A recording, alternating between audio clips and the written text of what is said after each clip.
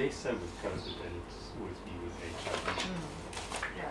So we understood that it was a, that it's really important to develop new HIV prevention choices for particularly for women, and that's because about 59% of new HIV infections in sub-Saharan Africa are occurring in women, and young women in particular are worst affected. So young women aged 15 to 24 have sometimes two, three times the rate of new HIV infections compared to their male counterparts.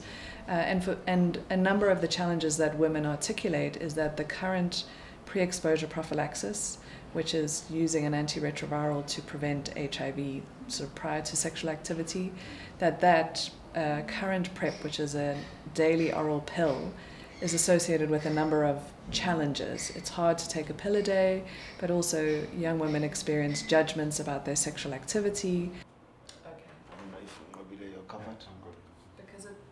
So in the study that we did, we looked at a new antiretroviral called cabotegravir that can be administered as an eight-weekly injection, uh, and we compared that to the existing daily oral Truvada. We enrolled over 3,200 women in 20 sites in seven countries in sub-Saharan Africa. So in addition to South Africa, we also enrolled participants in Eswatini, in Kenya, in Botswana, in Uganda, in Zimbabwe, and Malawi.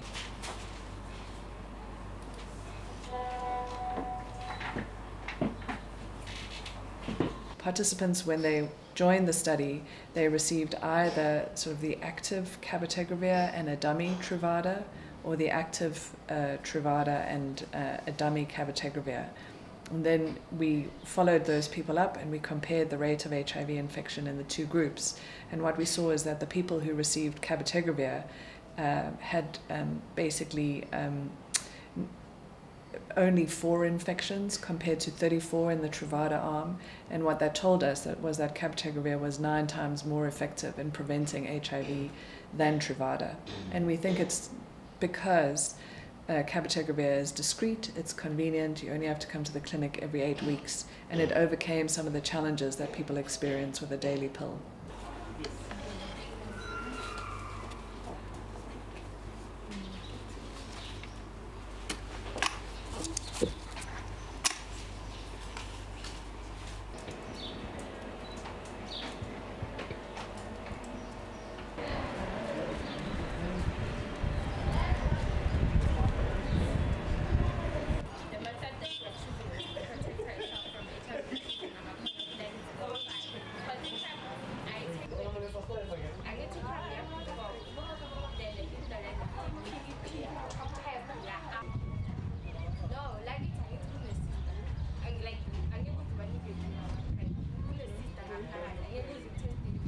Uh, since well I'm on PrEP using the pills, like I feel so happy that right now I'm going to transform from using the PrEP to using the injectable. Like it's an amazing thing because like with PrEP you have to remember that oh today I have to take the PrEP, and with myself as I'm working in the mobile clinic sometimes I get home very late, so I still have to take the PrEP. So with injection, I know that it's in my body. It's something that I move around with rather than moving around with the thing, the sound of the pills. Yeah, so I'm very happy. Yeah. Huh? about it.